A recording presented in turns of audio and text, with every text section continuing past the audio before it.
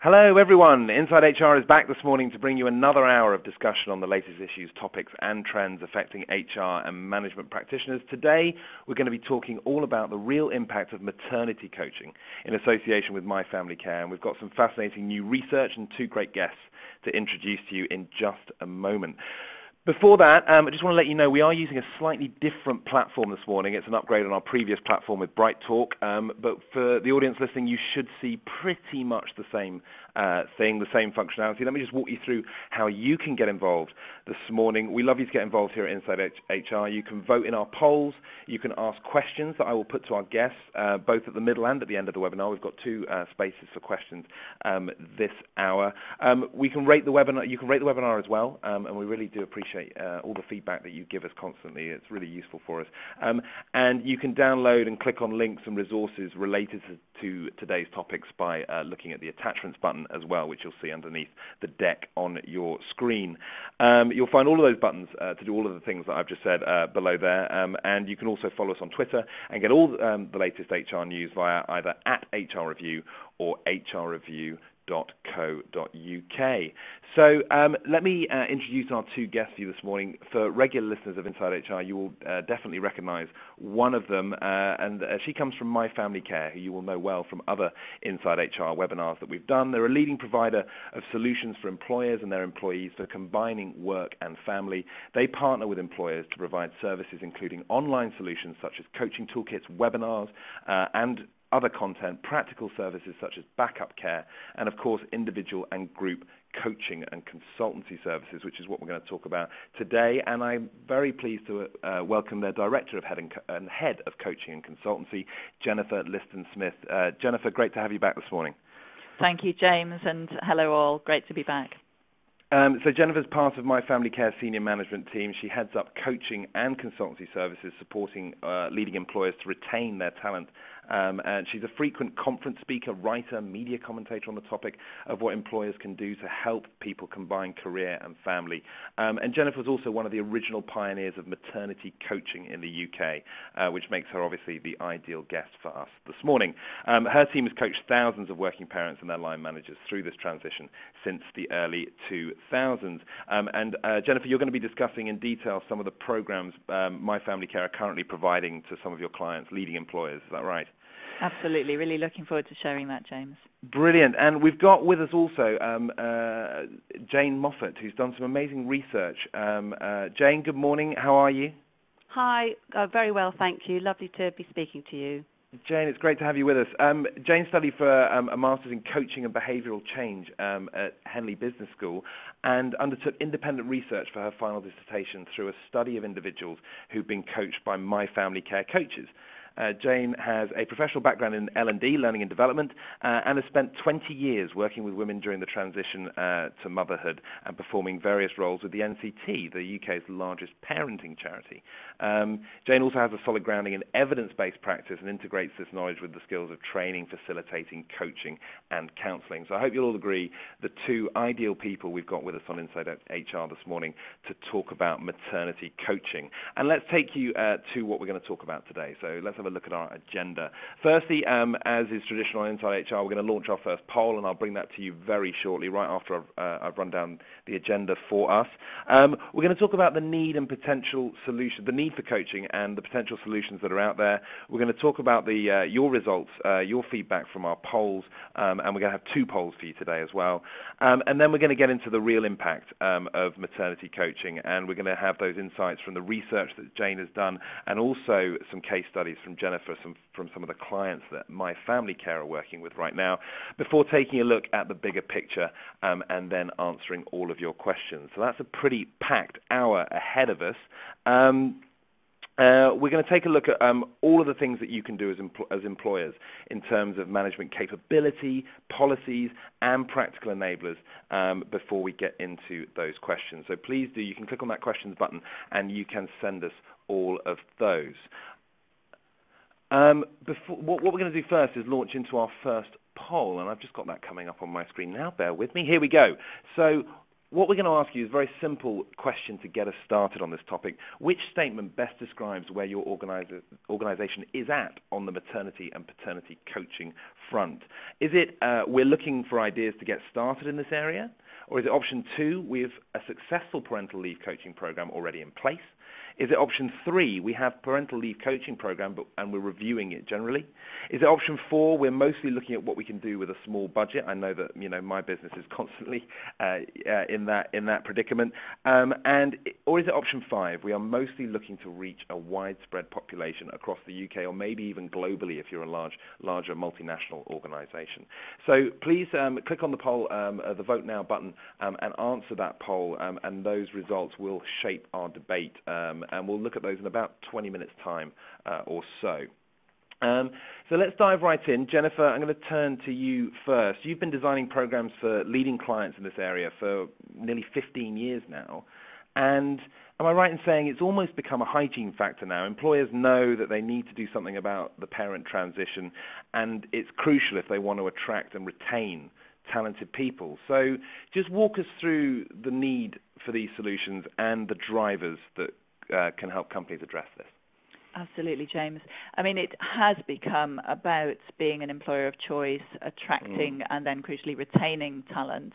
A lot of the clients that we work with are in sectors where there is a real need to retain knowledgeable, capable people. So financial and professional services, including law firms, um, STEM sector employers, science, tech, engineering, maths, you know, those sectors where people may be 10 years into their career when they have a child. It's a really crucial loss if you can't keep that person on board and keep their career progressing with a child. So it becomes a factor in, in how to be a great employer and employers compete with each other to be doing the right thing in a way in this area.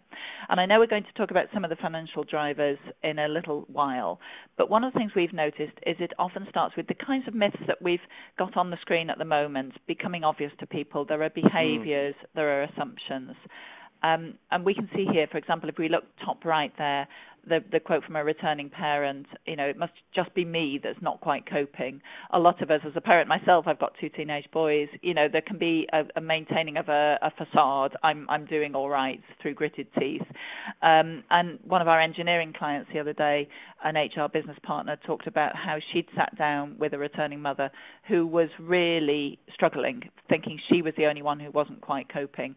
And actually, by having a good conversation, it's an organization in which we work with the individuals, but we've also also um, created ambassadors among the HR business partners, and they're, they're upskilled to have really good coaching conversations with individuals. And they can reassure people, normalize the challenges, help people find solutions, and then instead of it being an issue that impacts engagement and performance in a bad way, it can be really engaging. So, you know, for the individual themselves, we can see top left, there's a quote from a, a, a father, a partner, um, who, you know, dads these days can be wary about being too much of a pioneer if they take mm. shared parental leave. You know, am I um, am I being too counterculture? So that can be something where, again, employers can make real gains by saying, look, we are inclusive, we're gender neutral about enabling people to combine work and family, and that, again, can be a huge engagement plus. And it's not just parents that are holding back on having those conversations, it's also managers as well, isn't it, Jennifer? Right from the outset of addressing this field, as you say, back about 15 years now, we've said, you know, it takes two to tango. It's, it's a two-sided conversation. If we can uh, upskill one side, if we can upskill the parent to be more proactive and have influential conversations and great planning, that's great. But it, you know, if we can also engage managers, and you know, let's face it, we as managers are busy. There's lots to do. It can be all too easy either to avoid the conversation, like it says there. It might be better to say nothing in case I put my foot in it, or we can find we we say the wrong thing. You know, somebody announces they're expecting a baby, and before we know it, out of our mouths comes that sort of oh, um, not not next May, surely, with the big product launch, and you know, just the just the worst thing to say. So how do we give managers some simple, practical checklists that help them have that conversation confidently? Brilliant. Um, let me just remind our audience, because um, uh, who might have struggled to find the poll on our new platform, let me just remind them of that poll and what's going on. We've already got lots of you voting, so thank you very much for that. Um, which statement best describes where your organisation is at on the maternity and paternity coaching front? Is it one, we're looking for ideas to get started in this area? Two, we have a successful um, parental leave coaching program already in place? Is it three, we have a parental leave coaching program and we're reviewing it currently? Um, is it four, we're mostly looking at what we can do with a small budget? Or is it five, we're mostly looking to reach a widespread population a multinational uh, company, perhaps that's that's where you're sitting at the moment. Just a reminder that those buttons are underneath your slide deck. So if you click on the vote um, tab that is underneath there, um, you'll be able to access that poll. And therefore, what we'll do is we'll just give you a few more minutes to get involved with that. Um, so rather than moving on to those poll results, we'll move a little bit further and we'll talk about the options for employers, Jennifer. So we've we've talked about this um, quite a lot before. So um, in the early to mid sort of 2000s, maternity leave was lengthening, but leaks in the pipeline began to emerge, and employers could see that it, it might help to offer other individual coaching to key people who were going through maternity leave. Um, options have developed quite a bit since then, haven't they, Jennifer? Just just talk us through some of the different options that can be put in place, particularly um, some of those at lower cost, because we know that some of our audiences won't be working for enormous organisations; they'll mm. be doing this on a small budget. So there's lots, there's a whole range of options that companies can consider now, aren't there? Absolutely, James. And you know, whatever option you're looking to put in place, whether it's internal resource or external providers, you'll want to make a business case, and we're going to help with some um, maths around that later on. Um, but yes, there are lots of things to do. When we first embarked on um, doing something in this area, it was you know we could see there was an engagement issue around the potentially longer leave period that was coming up in the early to mid-2000s, we looked at one-to-one support. And still, many of our clients have blended programs where you might have individual one-to-one coaching, perhaps for the key people, the top talents, the most senior people, and you might have a, a group coaching program for the middle population and indeed online resources. And this is really crucial if you have a widespread population, whether they're widespread across the UK or widespread globally if you can provide something online and, you know, on a low budget, that could be simply tidying up what's there on the intranet, making sure that there's a really accessible, engaging page for new parents, dads included, partners included, obviously same-sex partners included. Um, but we have a, an online parental leave toolkit that we've created that guides people and helps them plan through the whole period of leave, both the individual and the manager, from before the transition to return. And that's a, a fantastic way of reaching a global audience, as is virtual coaching. So while we started a lot face-to-face, mm. um, it's now moved much more because of that widespread population that needs to be reached to virtual. And you can do virtual group coaching. You can have fantastic conversations like we're having today by webinar, which can be very interactive. And are you, Jennifer, are you, are you, is it common practice to be tying those in with things like the Keeping in Touch days, the KIT days as well, so it all sort of links together?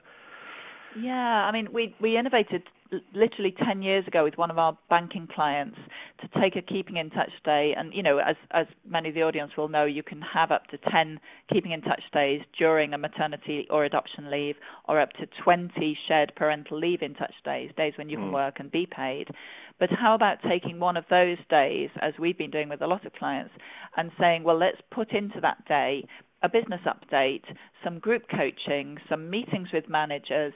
Let's make that a day in which we invite people to come in and we even provide pop-up creches in some of our clients' organizations to support that day.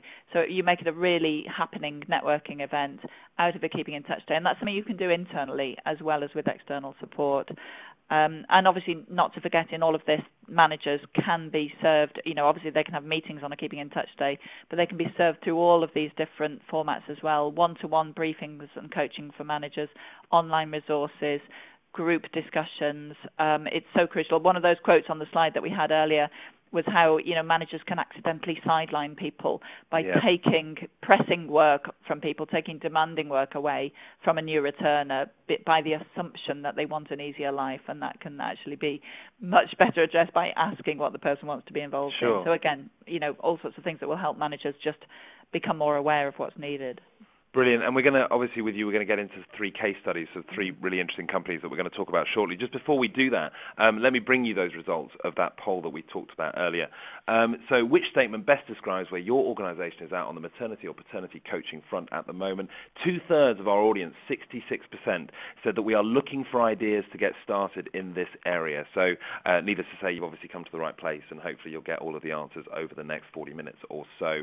Um, and also, let me draw your attention right now to the attachments um, button at the underneath your slide deck where you can uh, have a look at summaries of the case studies that we're about to discuss right now, but also loads of resources and links from My Family Care as well to get you started with some ideas there. Jennifer, let's talk about um, learning from existing case studies. So mm-hmm. there's we've got three organisations that you've worked with here, um, and let's talk a little about how My Family Care um, uh, and the, working with these companies, they've created sort of blending learning programs like the ones you were talking about earlier to suit their different populations and needs. And and I guess the key sort of theme here here is that there is a flexibility with this. You can tailor, um, make a program to suit your organization. What sort of combinations of different types of coaching have you been delivering with these companies? Yeah, absolutely, James. So, I mean, these are just three examples mm. um, of organisations whose case studies you can download from the My Family Care website, which is myfamilycare.co.uk.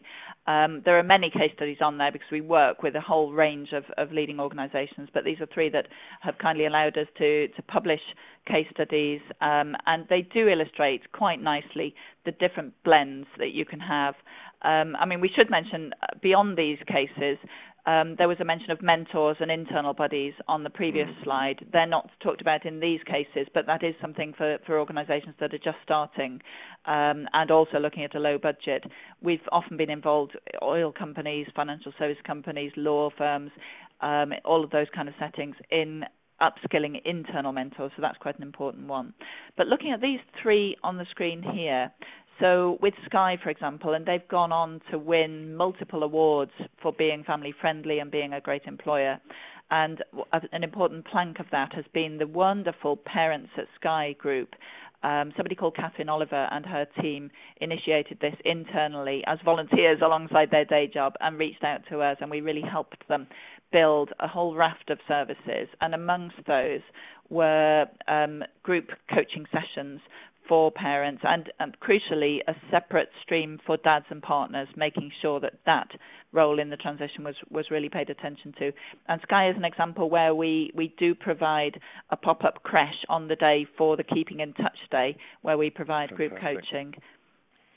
And we also provide in Sky a session, not only do we provide the sessions sort of tightly around the maternity transition itself and paternity transition. So we provide just before you go off on leave, during leave on a kit day, and about a month or so post-leave. But we also provide a session for people that have been back about six months or longer, because that's a time when you're mm. really trying to get your head around the day-to-day challenges. So that's an interesting one. And Sky have really embraced this, and I know that we've talked when we've when we've worked with you before uh, um, with My Family Care with Inside HR. We've talked a lot about Sky as a fantastic example of their sort of family-friendly policies, their maternity and paternity policies. Let's move to a slightly different organisation, Norton Rose Fulbright.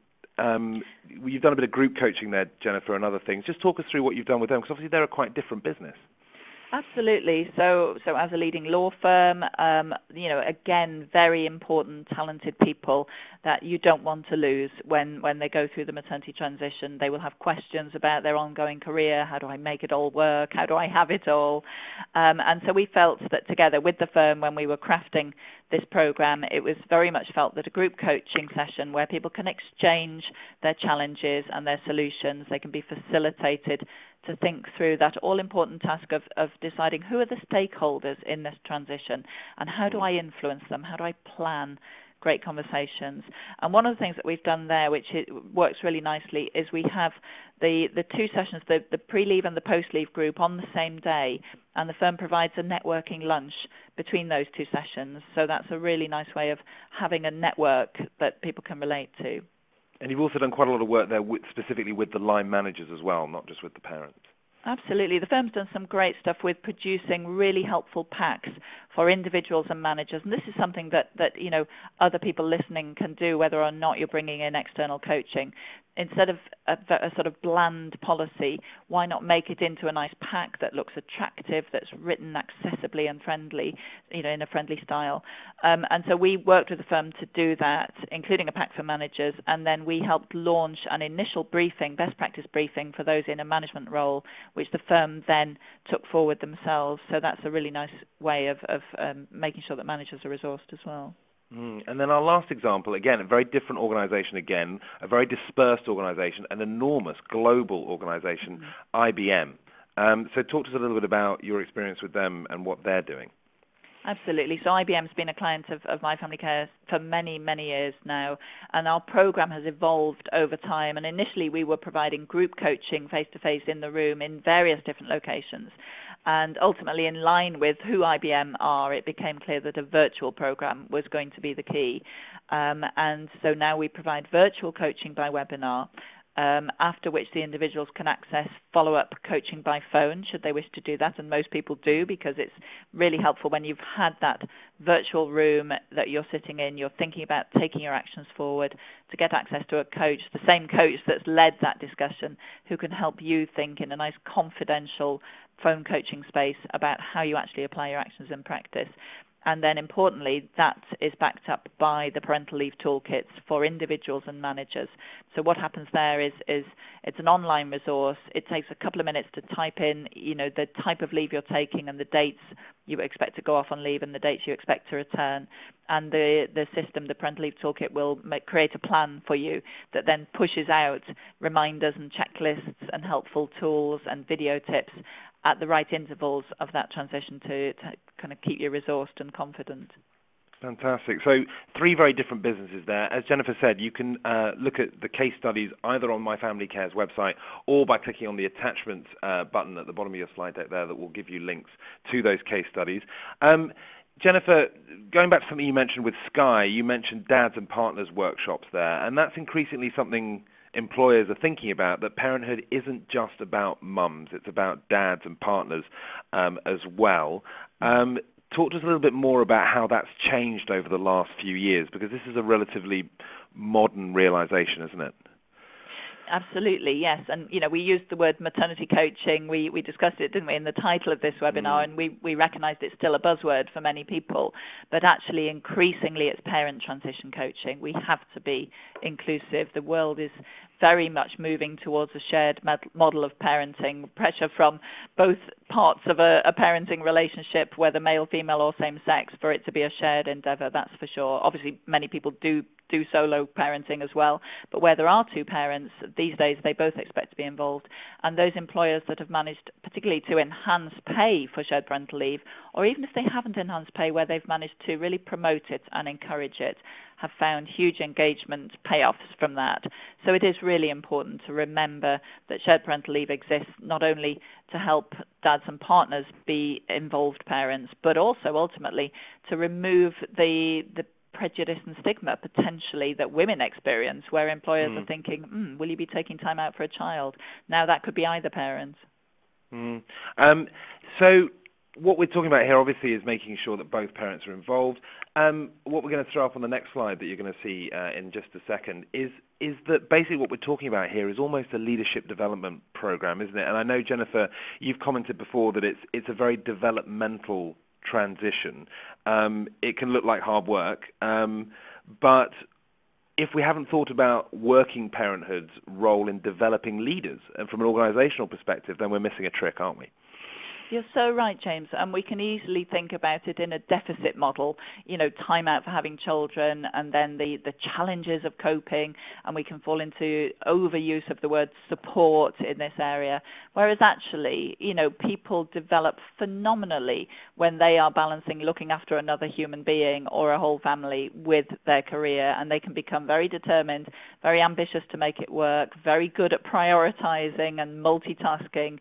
You know, if you can get a two-year-old to get get their shoes on in time to get to the nursery before work, you can probably negotiate with a room full of, you know, senior managers. Yeah. Um, so, so, actually, what we're saying here is that we're we're we're undervaluing the development and the skills that um, parents are picking up through balancing work and professional life. Uh, work and sorry, domestic life. Beg your pardon. Yes, and all of our coaches are, you know, ultimately leadership and career development coaches with a specialism in mm. this parent transition and in all the, the relevant themes of that because it is it is a time of huge development that we can we can harness. And if we don't if we if we do the transition badly then it can it can feel like a um, a pull between you know an either or work or family. But if we do it well we can we can see the development of the the person both professionally and, and personally Brilliant. So, Jennifer, we're going to talk in a lot more detail slightly later on about the numbers and, and the kind of impacts that this can have. Um, but Jane, I'd like to bring you in now. Jane Moffat, you were you were studying for your Masters in Coaching and Behavioural Change at Henry Henley Business School, and you decided that for your research you wanted to get under the skin of really under the skin and really understand what happens in terms of maternity coaching. So let me, correct me if I get this wrong. So you, you approached My Family Care um, uh, and got, a, got permission from a range of their client organizations for you to conduct interviews with a number of their coachees. Just sort of talk us through the process and also just tell us a little bit about what inspired you to do this particular research. Yes, James, that's right. When I approached them, My Family Care kindly agreed to be part of my research project, putting me in contact with women who had previously received coaching provided by them. Um, and I interviewed 11 women working for different organisations, really inviting them to reflect on the experience of being coached. Having spent 20 years as a practitioner for the NCT, working with parents in the perinatal period, from pregnancy through to a year after birth, I have long had an interest in this time of great change for people. New parenthood can feel like an amazing but chaotic time, and I've listened to thousands of parents talk about their experiences. Having mm. also been involved in learning and development for NCT, I'm int- intrigued by how people view the world and how training and coaching can play a part in increasing self-awareness and developing a curiosity into how others think and behave.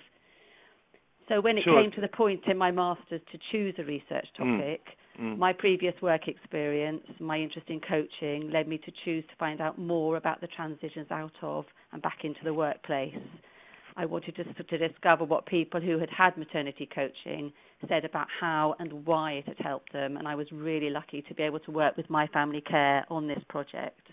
Fantastic. And the first thing we're going to look at here is is a, a really key thing um, uh, that, that I think you found in, in terms of your your conversations with these 11 women that you spoke to, was that they really felt like their identity had changed. And we've got a quote up on the screen that our audience can all see now, and, and it, it's it's a quote that says um, uh, that there's one of these the women that you spoke to wanted to scream at, at at someone, my life has fundamentally changed. And there's a sort of uh, the implication is there that, that people just don't are still not quite understanding how fundamental the change is uh, for parents, uh, particularly first-time parents. Just tell us a little bit more about what you found. Yes, that's right. So that quote from that uh, woman, she'd just been standing in a lift with somebody uh, on, you know, when she'd been back at work for a couple of days, yeah. and uh, this man said, "Oh, you you look well. Uh, uh, wh- where have you been?" And she said, "Well, I've you know been off on maternity leave." And he sort of looked at her as if she'd just been on holiday to the Maldives or something. yeah. um, and she was, um, you know, she really felt you know, it's really it's really different for me. And, you know, and the transition to motherhood is a recognised time of profound psychological change. And so, although people might be the same professional at work that they were beforehand, they often feel differently, which can impact on confidence and engagement. Uh, sorry, Jen, is there a sense that that change, that fundamental change of identity, isn't being understood within organisations at the moment? I think from what some of the women were saying, that that's the case, that they're appearing the same at work, um, but there has been this big shift. And certainly the coaching seemed to help align their new identity with their behaviour at work.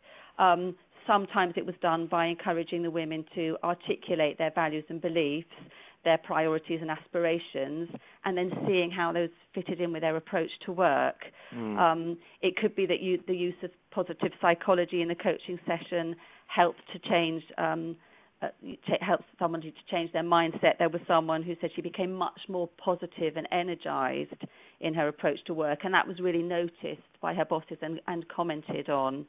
Um, and another woman just described herself as behaving like a swan at work, looking calm on the surface, but madly paddling underneath. Yeah. And, and the coach had really helped her to present herself well in all the various situations and guises. Those were the words of, of the woman that I interviewed.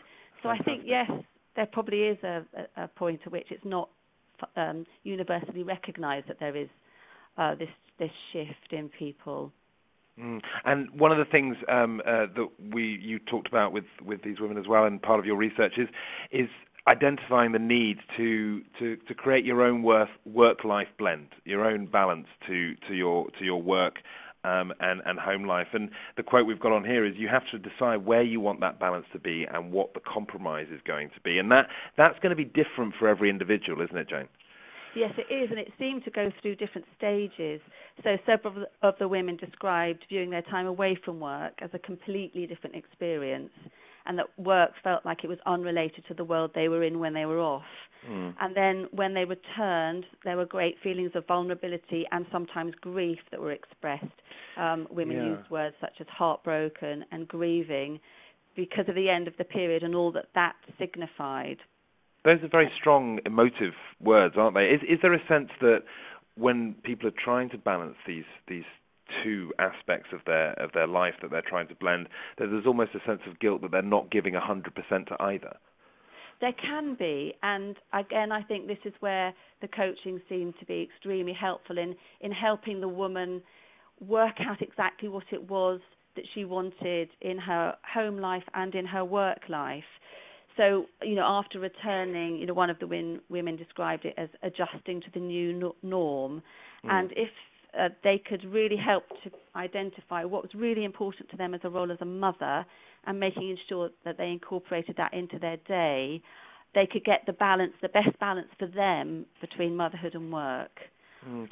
And so the impact of the coaching, I'm guessing that a lot of people go into that coaching process with sort of questions about the logistics of how on earth they balance raising a child or looking after a child with their career.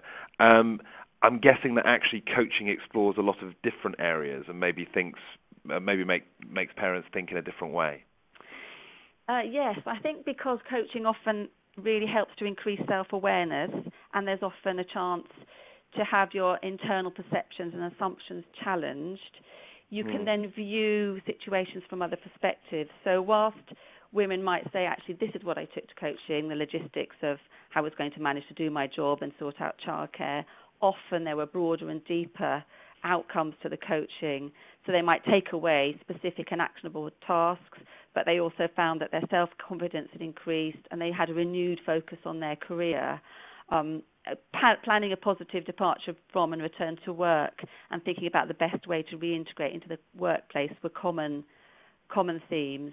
And the work on priorities and aspirations really often led to personal insights mm. and new realizations about themselves, uh, which then opened up a wider range of possibilities for their futures. Sure, and we've got that quote on the screen there that, that, that says that it's about having someone uh, help you take a step back and give you that different perspective that we talked about. Um, Jane, one, one last thing to, to ask you um, uh, before we move on to the next slide is, I'm guessing with this coaching relationship, it does take some time to build, that there must have to be an element of trust between coach and parent in order for that perspective to start to appear. Just talk us through a little bit about how you found that working. So I think with any coaching relationship that trust is really important to build to mm. create mm. that safe environment to allow those conversations to flow and for whoever's being coached to feel that they could, can really think about themselves in that safe space. Um, it certainly seems to be easier if the coach is considered to be external and neutral and objective, and seven out of the 11 women really stressed how important it was that, that, that, that, that, that that's how they saw their coach.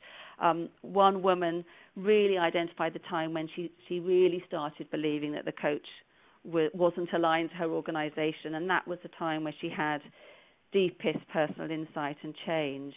Um, mm. And that the women really viewed their coaches as a sounding board, and they, they, all, they all had a lot of praise for the coaches that they'd had.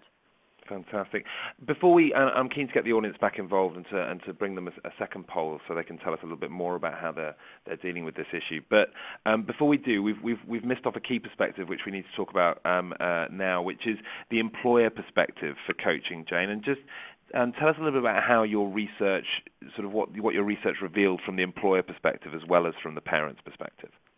So quite a lot of the women talked about how the, the coaching had really helped them to prepare for uh, potentially difficult conversations that they were anticipating about coming mm. back to work. And one of the real advantages was the coach helping them to see things from the perspective of the organisation as well, so that um, there could be a win-win situation. And this is what the woman wanted. But it, was that going to be the best thing for the organisation? And if it was, they could really frame it in that way for those conversations. Um, so that really, really helped them.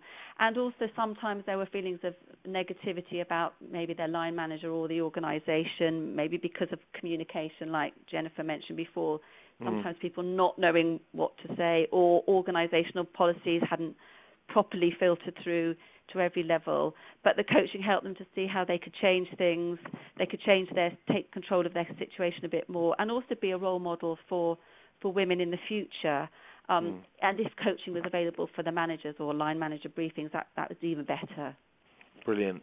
Thank you so much for your insight onto that, Jane. Um, we're we're gonna we're gonna come back to you obviously. and We're gonna have some questions for both you and Jennifer very shortly. But before we do that, um, I want to launch our second poll and ask our audience where they are with this. So the question that we're asking now is, what is the biggest barrier or challenge you face in implementing uh, or ensuring success of a coaching program in your organisation?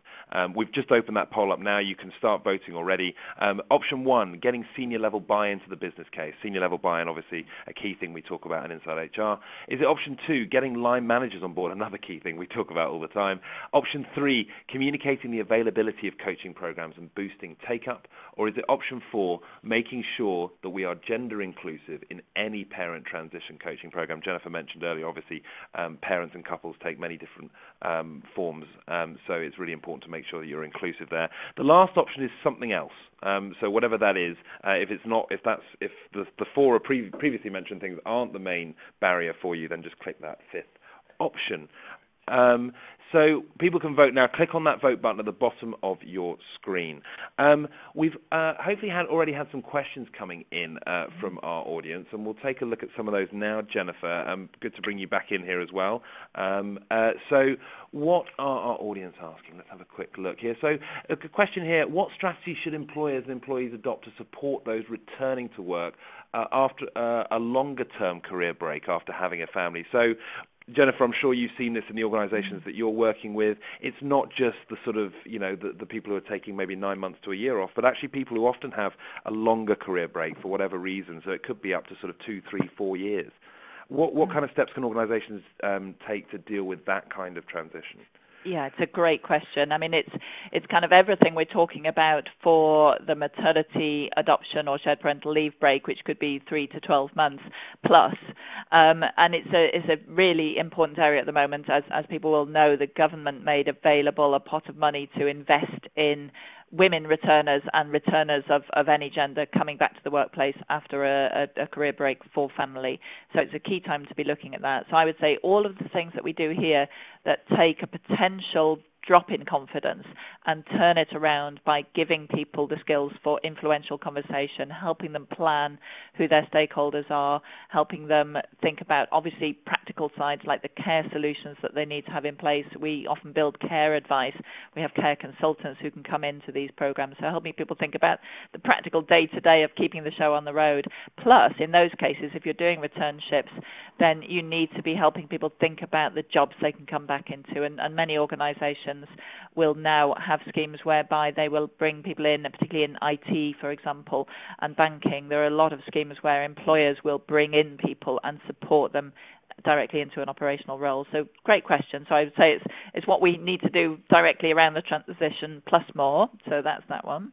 Mm. We've got a few, um, yeah, we've got a few questions coming in about measuring the return on investment mm. of coaching, and I know what I'll probably do is, is we'll push those to the end because I know Jennifer, you're about to talk about the business case for investing in coaching. So I'm sure we'll answer all of those questions as we go through the next 15 minutes or so. Instead, let's have a look at. Um, uh, we t- talked about um, earlier. There was there was a question about how um, co- organisations want coaching to be available to more than just parents. Actually, there's a lot of people with caring responsibilities, and I know that's mm-hmm. very high on the agenda in organisations at the moment as well. Jennifer, in your experience, is there a way of sort of expanding this to take in all people who have caring roles and are tr- struggling with that balance between mm. um, sort of you know their domestic life and the demands and their professional lives? Yeah. Uh, again, great question. Um, at My Family Care, where we talk about combining work and family, we necessarily include in that people that have adult dependents, obviously children with additional needs, elder care responsibilities, such a growing issue potentially for all of us with people living longer, with the retirement age becoming more fluid. So I would say, I mean, of course, all of the services that we provide, be that one-to-one coaching, group coaching, online resources, are also reflected in the caring side of things. So yes, but if you're thinking about your own internal program, the thing I would say is, is many organizations, one of your key starting points, whether you're looking at the parent transition or you're looking at wider caring, you can start by establishing a network. It needs a few volunteers. You will usually find a handful of passionate volunteers, and you can call that a family network instead of a parenting network and include carers in that. But definitely creating some kind of place for people to have conversation, exchange their stories and exchange their tips and solutions is really important. So definitely doing something for carers is, is a very good move if you're doing something also for parents.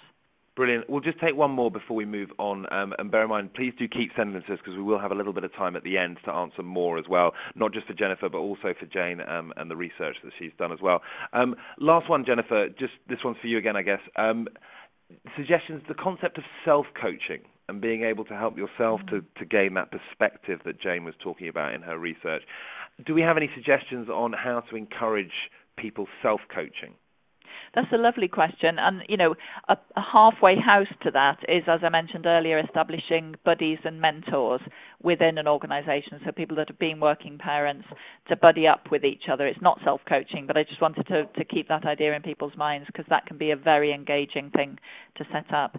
Now, in terms of self-coaching, obviously, if you've provided any online tools, I've talked before about the parental leave toolkit that's used by people like IBM and others, that is a kind of self-coaching because when mm. you engage with that toolkit, you're then invited to, to look at a tool that's going to help you plan a better conversation or review your working arrangements, make the business case for that. If you're starting out as yourself as an organization, you know, why not provide some checklists, some guidance, and invite people to self-coach around that. When we've worked with large professional services organizations and we've provided those checklists and they already have a coaching culture, they very much wanted to work with us to produce checklists that put some coaching questions in. You know, sort of what are your values here? What do you definitely want people to understand about your, your professional brand as a working mm. parent? So you can build that in. Fantastic. Let's um, move on. Well, thank you for all the questions. We, like I say, we will do some more at the end. Um, we've talked about the effect on parents um, and the benefits that coaching can provide there. But Jennifer, as always, we need to justify this. We need to talk about the business case. And there is a huge one, isn't there? What will parental transition coaching deliver for organizations. So let's get into the hard mm. numbers, Jennifer. Um, on the screen now, we've got some, some, some of the factors that um, are often impacted with this. Just walk us through a little bit more, Jennifer, what, what, what, the, uh, what the return is here. Sure. Many of these factors came from um, a, an XpertHR case study that was published about our client Citigroup some years ago, actually, where they yeah. identified in particular the increased return rate and the better engagement, as well as other factors. And I think we'll talk about the return rate in a moment because there have been questions about measuring ROI, and you know that's a key one.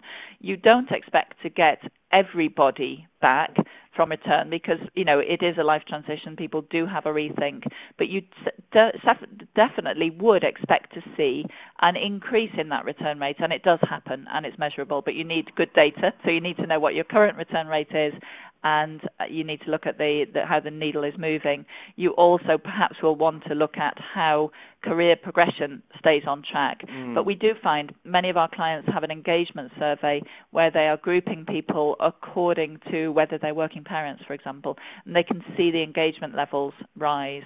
But you also find if you're keeping people on board through this transition and you're having better conversations, not only does that enhance the diversity of your pipeline because you're keeping more working parents, male and female, but you're also having, you know, managers are having better conversations with, with the coming generation about work-life integration, whether or not they're parents. And that in turn leads to a better employee value proposition where people feel that their life outside of work can be blended with their career and you can have conversations yeah. about that. And this is really high on the agenda at the moment, isn't it? I mean, for example, I know that my organisation and lots of others at the moment are publishing their gender pay gap reporting, which is something that obviously is mandatory now uh, for organisations over a certain size. And if you want, if organisations want women in more senior, more, more women in senior roles, then surely one of the things worth doing is looking at those key life moments where women can drop out of the talent pipeline. And this is, this is going to affect all kinds of things, including things like gender pay. Yeah, absolutely. I um, I couldn't agree more, James. so no, so it's just just in terms of reinforcing the number of perspectives that businesses should be looking at with this. Um, if we move it on um, and talk about the size of the challenge that businesses are facing at the moment, we've discussed so far how individuals will feel more valued, how they'll be able to return to work more confidently, more able to perform, more ambitious. Um, in addition to that, there's numbers behind this in terms of the return on investment for addressing this. Jennifer, just walk us, because we, we all know how senior executives like to see those numbers, put, it, put the business case in, in pounds and pence. So take us through that and, yeah. and tell us what organisations can be doing and rightly so. I mean, you, you, know, it's important to look at the numbers. We can see from a human perspective, it's the right thing to do, and it's mm. going to have many spin-off benefits. But the numbers are important.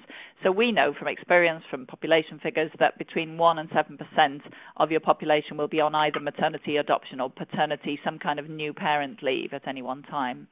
Um, we know that the national average maternity return rates um, are in the region of 77%. We know that from the Office for National Statistics. Um, so you can expect around about 70%, 77% of people to return if you don't do anything else. It'll be very different in different sectors. Sometimes it'll be much less. Sometimes mm. it may be higher we know that it costs at least a £30,000 ticket to replace somebody who chooses not to return. Now, it'll Which be a, a lot more. figure, isn't it? Yeah. Well, yeah, but, it, you know, many of our investment banking clients would say, you know, don't be ridiculous, it's quarter of a million by the time that associate sure. has been with us 10 yeah. years and the, the knowledge yeah. they represent. Plus, you know, they may not stay at home with their children. They may actually go to one of your competitors who provides a better work-life balance um, which is quite costly too. Um, so, so you know, those are quite important figures. And looking at the return on investment when you do get hold of this transition and provide things that enable people. You can see an increase in return rate. You can see on the screen at the moment, Norton Rose Fulbright measured mm. the, the increase in the, the retention in the, the return rate and found that that climbed 14 percentage points Page Group, who we've also published a case study on our work with Page Group, they found that there was a 12% increase in their return rates. These are big, tangible increases, Jennifer. Well, they are. They, you know, they make a huge difference financially as well as in terms of, mm. of morale and continuity. So let's say you had a thousand employees, just for the sake of round numbers. Sure. If 4% of your population was on maternity leave at any one time, then you'd have 40 people out of that 1,000 that would be mm-hmm. going through leave if you could increase the return rate by 12 percentage points, taking that national average of 77%, adding 12 percentage points onto that takes it up to 89%. If you had 77% of those 40 people return, you'd have, slightly odd in terms of people, but you'd have 30.8 people returning, so just over yep. 30 people. You would increase it um, to 35.6 people, so 35 or 36 people coming back instead of 30 people if you move it up 12 percentage points. So say that's an extra 4 point, well, we say 4.8 or 5 people. Mm. That in monetary terms is quite a lot, isn't it? Well, yes, you know, it's it's 144k if you take 4.8 people. If you took four people coming back times 30,000, it's Use that 30 grand figure, yeah and you can run a substantial program or internal networks or whatever else you wish to do or you know create management guidance for 144k that's you really could. That's a that's a huge figure. My company wouldn't know what to do with that amount of money. Um, Norton Rose Fulbright um, is, is a really interesting example. That's obviously one of the case studies that we've got a link mm. to in the attachments.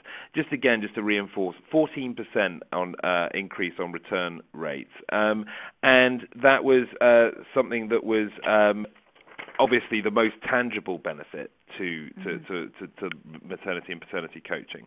Um, but there are other success factors, aren't there, as well, Jennifer, um, that we need to that we need to look at. Yeah, and interestingly, some of our law firm clients have said to us, we will know this program is a success when we are getting better thought through flexible working applications. Mm. And that's a really smart way of looking at it because as Jane referenced earlier, the coaches would challenge the individual to make a really good business case for their preferred working arrangements, thinking through the deliverables, thinking through the contingencies and how it's going to work. So the mm. coaching can have a really practical impact in that way as well. But on the screen now you can see six success factors that we've identified through coaching thousands of working parents and their line managers. We know what we're looking to, to shift here.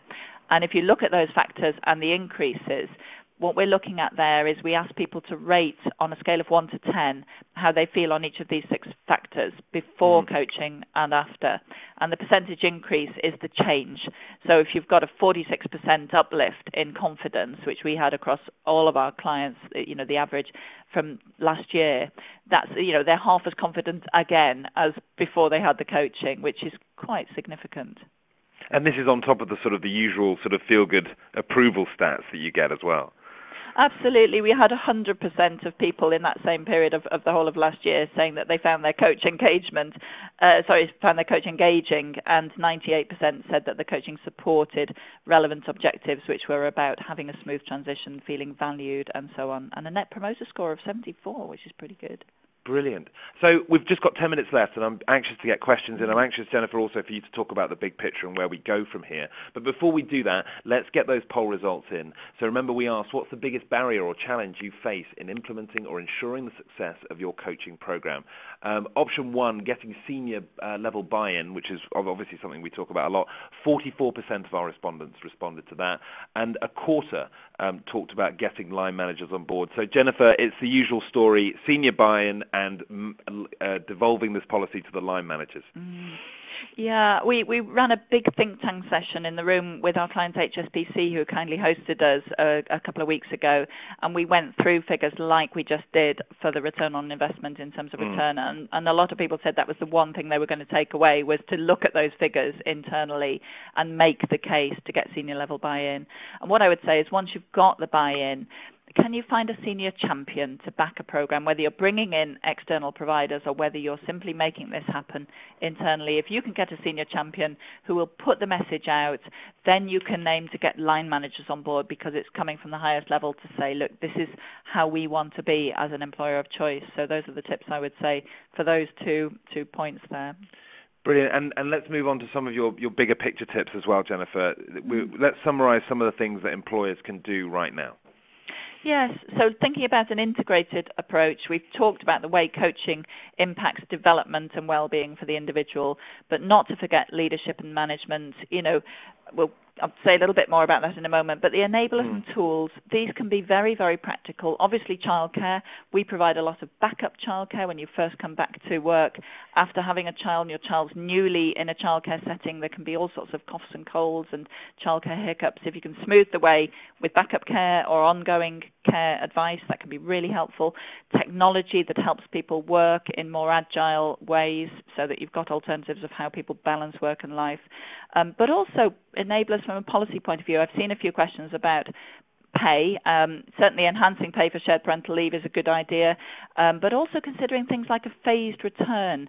Can you allow people to use up holidays or indeed use keeping in touch days mm. to enable a phased return so they're back a couple of days a week before they're back full time? So practical things like that. And then finally back to the leadership and management side and perhaps onto the next slide.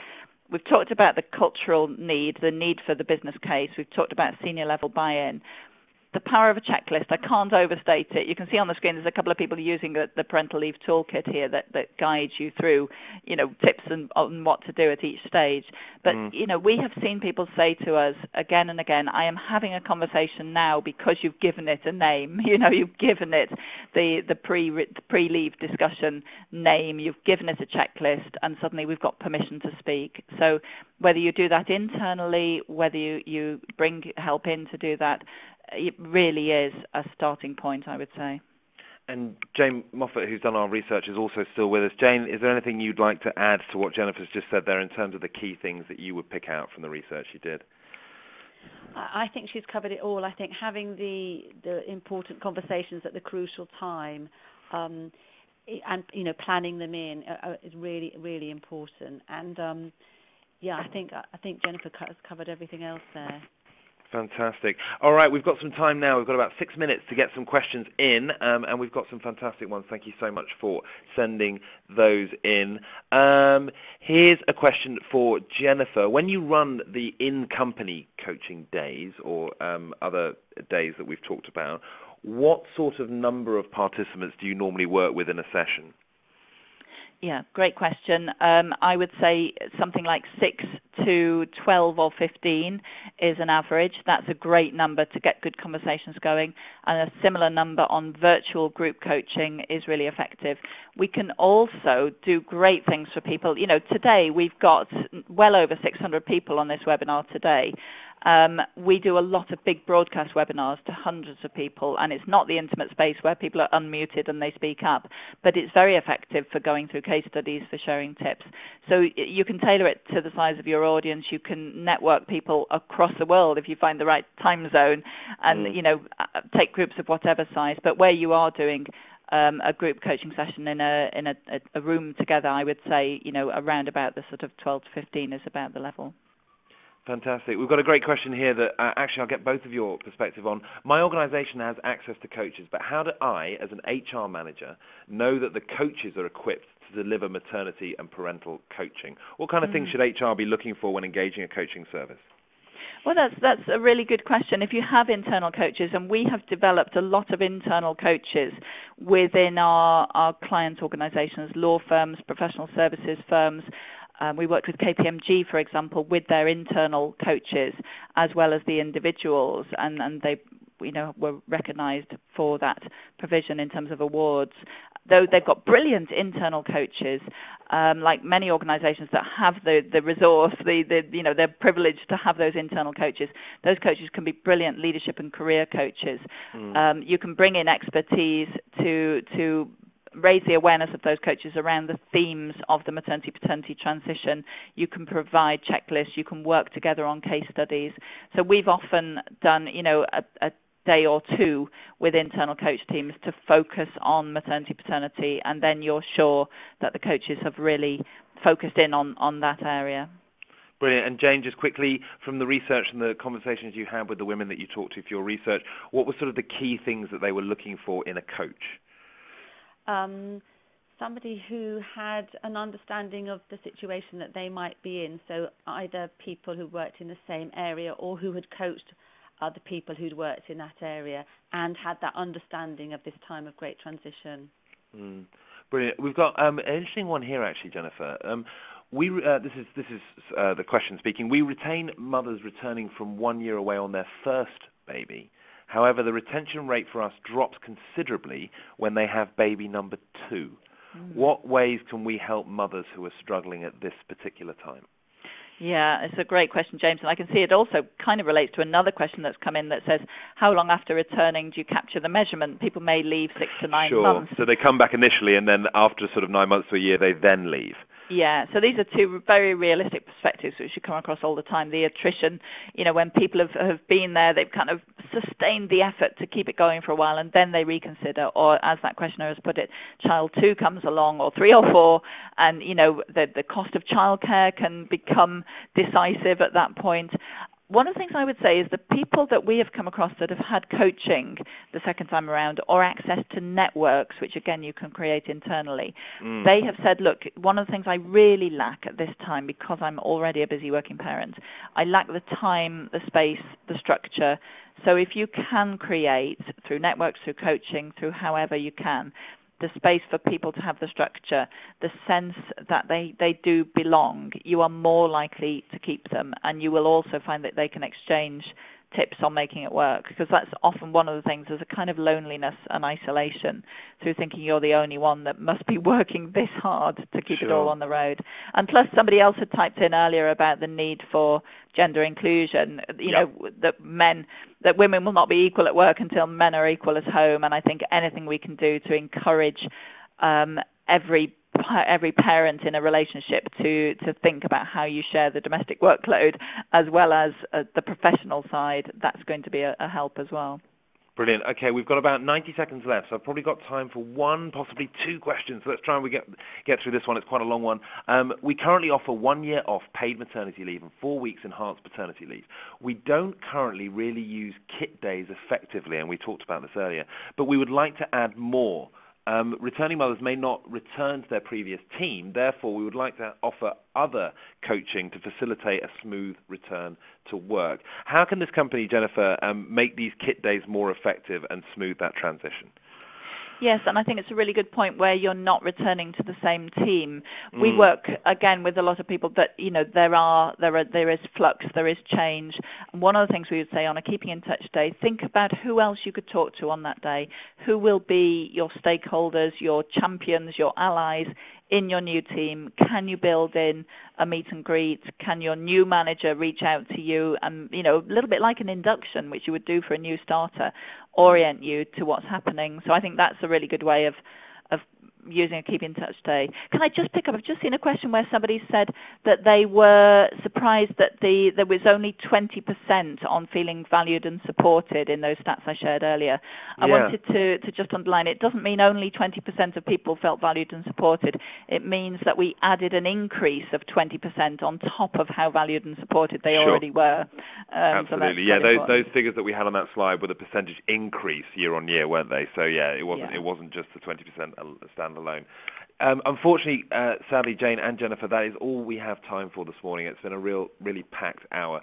Thank you so much, and a huge thank you to my family care as always, um, who we love working with, and, and who these these webinars really do um, uh, have such a popular uptake uh, when we when we work with you. So a big thank you to them, to Jennifer, and to Jane. Um, I just want to leave you with uh, the resources that we have under the attachments tab. So if you please click on that button, and there is a whole range of resources from my My Family Care and links to their website, including case studies, videos, white papers, research and service guides, and their parental leave toolkit as well, and those case studies from Sky, from Norton Rose Fulbright, and from IBM that we talked about earlier. So huge amounts of stuff to take away uh, to help you start that process. If that's you, if you're in that 66% that are looking to start this process of, get, of getting a coaching program in to support your working parents, um, please do take advantage of all of those resources.